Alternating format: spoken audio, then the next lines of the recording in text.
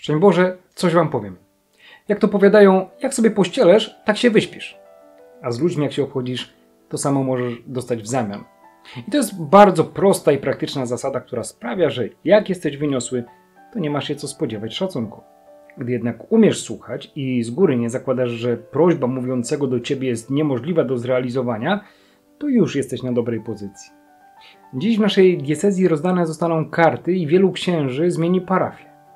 Pewnie przy pożegnaniu się okaże, na co zapracowali przez czas pobytu w danym miejscu.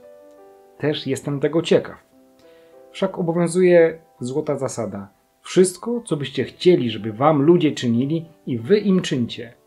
To, co dajemy, wraca jak bumerang.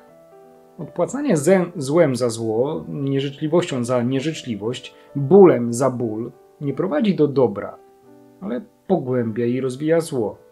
A przed złem mamy nie tylko chronić siebie, ale także ludzi wokół nas. Nie jest to łatwe, ale możliwe do wykonania. I dlatego Jezus uczy nas, że postawę zła trzeba naprawiać naszym dobrym postępowaniem. Przytaczając słowa Marka Twaina, postępuj zawsze właściwie. Da to satysfakcję kilku ludziom, a resztę zadziwi. Faktycznie możemy się spotkać z postawą zadziwienia. Zwłaszcza wtedy, gdy nasze postępowanie nie łapie się w kategorię zrobię jak wszyscy. Pan Jezus mówi, że trzeba podjąć trud wchodzenia przez wąską bramę, że trzeba naprawdę rozważnie podejmować decyzje i wybierać drogi, które mogą się zdawać zbyt strome, wyboiste i wymagające. Dobro pozostaje zawsze bezcenne. Ono wraca do nas yy, prędzej niż się możemy tego spodziewać. Może nasuwać się nam jednak pytanie, czy Bóg się nad nami nie chce znęcać, że tak stworzył yy, tą wąską bramę, że tylko nieliczni mogą przez nią przejść? Nie. Jego pragnieniem jest, żebyśmy mogli doświadczyć tego, co jest życiodajne, i aby każdy mógł spotkać się ze swoim Bogiem Ojcem, który czeka na człowieka. Papież Franciszek na audiencji w 2016 roku powiedział: Pan daje nam wiele okazji do zbawienia i wejścia przez bramę zbawienia.